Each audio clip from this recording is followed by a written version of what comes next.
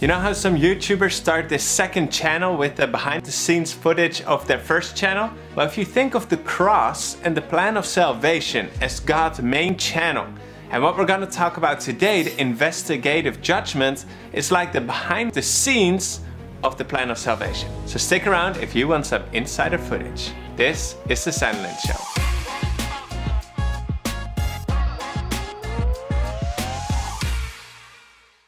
Hi friends, Melvin here. If you are new to this channel, we're all about providing you with guidance for Christian living in everyday life. So if that is something that you appreciate, feel free to subscribe and click that notification bell. I also want to thank everyone who supports our family and ministry. This is what you made possible. Drati comments, now I understand. So many questions were answered. Thank you so much. I know that today's topic sounds kind of strange and not even many Christians know about it, but it's gonna show us something beautiful about God's character and it's extremely good news to those who believe. So five minutes on the clock, it's gonna be challenging, but I'm gonna try.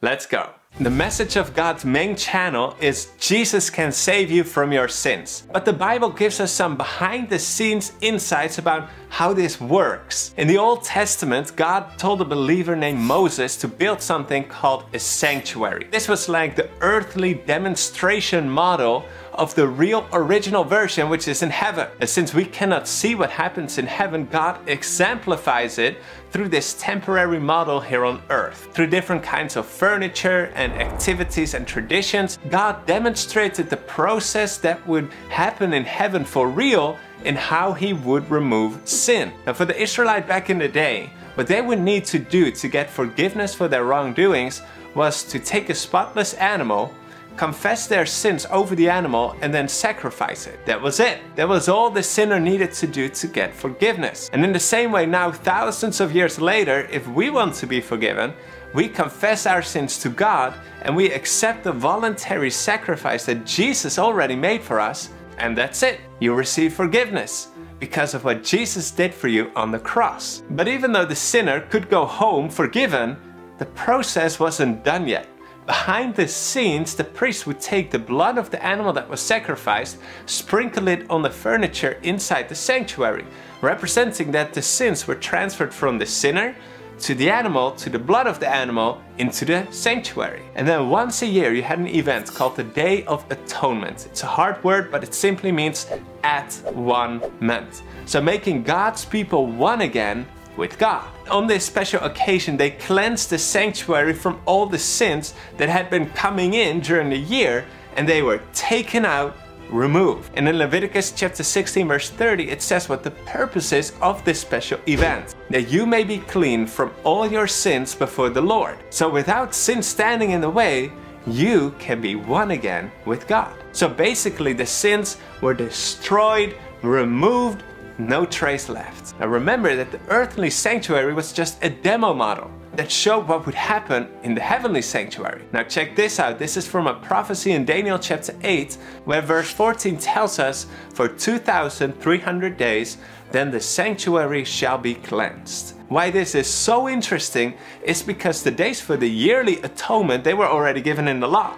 So this is announcing a new, a special event in history where not the earthly demo model sanctuary would be cleansed, but the real thing, the heavenly sanctuary. When you do the math based on the information that we get from the context and Daniel chapter 9, this time prophecy points us to the year 1844. Whoa! So what happened exactly in 1844? Well, what happened on the Day of Atonement? The sins that throughout the year had been confessed, they were permanently removed so that there wouldn't be a trace of them left. And in 1844, this process would start for real in heaven. Now then here's the question, how do you know which sins have been confessed and therefore can be removed? Well, God of course knows, but he does something special. Talking about this event in Daniel chapter 7 verse 10, a thousand thousands ministered to him, 10,000 times 10,000 stood before him. The court was seated and the books were open. In other words, God doesn't just arbitrarily decide and announce the results, He holds an open court going through the books, through the evidence, full transparency to the whole universe. That is the God that we serve. He doesn't do things in the corner, He does it out in the open so that all can see that the judgment is fair, so that the accusers, the devil, and the fallen angels will be silenced. And the angels in heaven can feel secure that no one will come to heaven that will mess it all up by sinning again. So in 1844, a judgment started in the heavenly sanctuary that investigates who has confessed their sins, taken hold of Jesus, his sacrifice, said that those sins can be permanently removed. In 1 Peter chapter 4 verse 17 it says, For the time has come for judgment to begin at the house of God. So God's people will be judged first. And of course that makes sense that this also needs to happen before Jesus returns. Because when Jesus comes he will bring a reward for his people. He will bring his people to heaven. So before all that can happen it of course needs to be known who belongs to God's people. So imagine that the books are opened and they come across Karen or Linda or Alicia and the devil is like, I remember her. No way that she can be saved and go to heaven. She used to sleep around, be disrespectful to her parents, do drugs and all kinds of things. And God is looking through the books and he's like, I don't see it. And the devil is like, what do you mean you don't see it? Give me. looking through the pages, I can't read what it says. It's all, it's all covered. And then Jesus steps forward and says, That's right, she's confessed her sins, and I have covered them with my blood. They are paid for. She's my daughter, and I'm gonna bring her home. It's like at the cross, Jesus paid for our sins. The price is paid in full. It was a perfect sacrifice. And during the investigative judgment, it's like Jesus showing his receipt to anyone who wonders if you really can be saved. Now here's why I believe that God gave us this peek behind the scenes because this gives us evidence on which we can base our faith. Understanding how this earthly demo model works gives us confidence that though we cannot look into heaven, that we know that God is permanently removing sin. We don't need to live in uncertainty about if confessing our sins and accepting Jesus' sacrifice, if it's good enough for us to be able to be saved.